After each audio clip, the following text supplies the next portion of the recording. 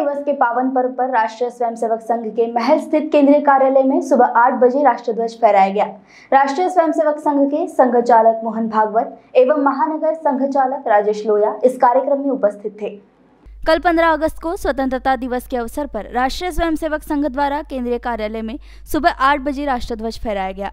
जिसके बाद डॉक्टर हेडगेवार स्मारक समिति द्वारा स्मृति मंदिर परिसर रेशिमबाग में भी स्वतंत्रता दिवस समारोह आयोजित किया गया था। नागपुर महानगर सह संघ चालक श्रीधर राव गाड़गे की उपस्थिति में सुबह नौ बजे ये कार्यक्रम हुआ। स्वतंत्रता के अमृत महोत्सव निमित्त नागपुर महानगर के घोष विभाग का पथ संचलन शाम पाँच बजे हुआ। ये महाल संघ कार्यालय से दारोडकर चौक, गांधी पुतला, गांधी बाग उद्यान, गोलीबार चौक, त्रिवेणी पथ चौक, लाल इमली चौक, भारत माता चौक तीन नल चौक नंगा पुतला चौक, भावसार चौक, चितारोल, बड़कस चौक से महाल संघ कार्यालय में समापन किया गया।